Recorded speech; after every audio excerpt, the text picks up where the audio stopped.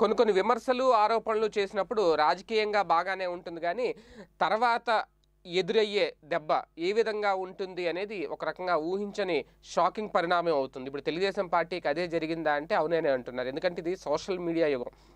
ఏదైనా ఒక సవాల్ విసిరిన ఒక ప్రశ్న సంధించిన క్షణాల్లో దానికి సంబంధించిన ట్వీట్లు పోస్టులు ఇవన్నీ కూడా సోషల్ మీడియాలో ప్రత్యక్షమైపోతూ ఉంటాయి. తర్వాత దానికి సమాధానం చెప్పలేం. తాజాగా చంద్రబాబు నాయుడు గారు చేసిన విమర్శలు ఏవైతే ఉన్నాయో ఆరోపణలు ప్రధానంగా రాష్ట్రాన్ని భయపెట్టేలాగా ప్రజల్ని ఆందోళనకు గురి చేసేలాగా రాష్ట్రం దివాళా తీసేస్తుంది. జగన్మోహన్ రెడ్డి గారు అప్పులు చేసుకుంటూ వెళ్ళిపోతున్నారు.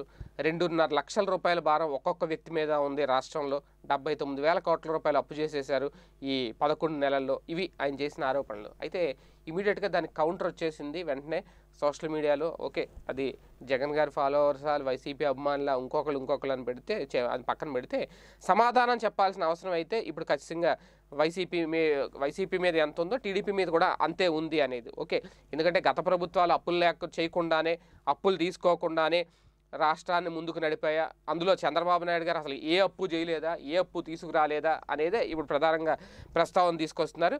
అంటే చంద్రబాబు గారు చెప్పిన మాటలు బాగానే ఉన్నాయి. ఓకే నిబంధనలు ఎఫ్ఆర్బిఎం నిబంధనల ప్రకారం మూడు శాతం మించి అప్పు చేయకూడదు. ఓకే అది కూడా యాక్సెప్ట్ చేస్తారు. అలాగని చెప్పి గత ప్రభుత్వాలు అప్పు చేయలేదా? చంద్రబాబు నాయుడు గారు అసలు ఏం చేశారు? రెండు వేల పద్నాలుగు రాష్ట్ర విభజన నేపథ్యంలో ఆంధ్రప్రదేశ్ ఏర్పడిందే పదహారు వేల ఐదు వందల కోట్ల రూపాయలు. అంటే లోటు బడ్జెట్తో ఏర్పడింది. అందరికీ తెలిసిన విషయమే. తర్వాత ఐదేళ్ళ పాటు చంద్రబాబు నాయుడు గారే పరిపాలించారు. ఆయన దిగిపోయే టైంకి రాష్ట్రం అప్పు రెండు పాయింట్ ఎనిమిది ఐదు లక్షల కోట్లకి చేరింది. అది కూడా అందరికీ తెలిసిన విషయమే. మరి చంద్రబాబు గారి హయాంలో లక్షల కోట్ల అప్పులు చేశారు అనే విషయాన్ని పక్కన పెట్టేసి ఏదో జగన్మోహన్ రెడ్డి గారు వచ్చిన తర్వాత డెబ్బై తొమ్మిది వేల కోట్ల రూపాయలు అప్పు చేసేసారు అప్పుడే అంటే మరి అప్పుడు ఆయన చేసిన దాంతో పోలిస్తే ఈయన చేసింది ఏంటి? ఓకే ఈయన పదకొండు నెలలకు చేశాడు అనుకుందాం. ఆయన ఐదు లక్షలకి అంత అప్పు పెట్టాడు అనుకుందాం. ఆ అప్పు ఎవరు తీర్చాలి? చంద్రబాబు నాయుడు గారు పర్సనల్గా తీరుస్తారా? లేదంటే ప్రస్తుతం ఉన్న ప్రభుత్వం తీరుస్తుందా? ప్రభుత్వం చేసింది తర్వాత వచ్చిన ప్రభుత్వమే తీర్చాలి.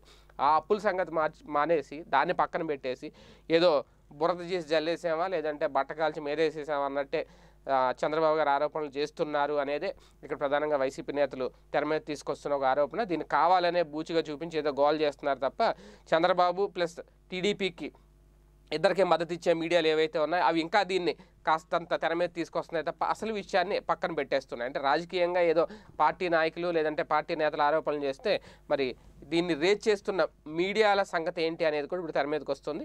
మొత్తానికి ఈ అప్పు గురించి మాట్లాడినప్పుడు ఆపు సంగతి ఏంటి అనేది ఇప్పుడు వెలుగులో తీసుకొస్తున్నారు. జగన్ గారి అభిమానులు కానివ్వండి వైసీపీ నేతలు కానివ్వండి పార్టీ నాయకులుగా. ఒక రకంగా ఇది ఒక గట్టి స్ట్రోకే చంద్రబాబు గారికి ఈ సమయంలో అనేది ప్రధానంగా ప్రస్తావనకు వస్తున్న అంశం.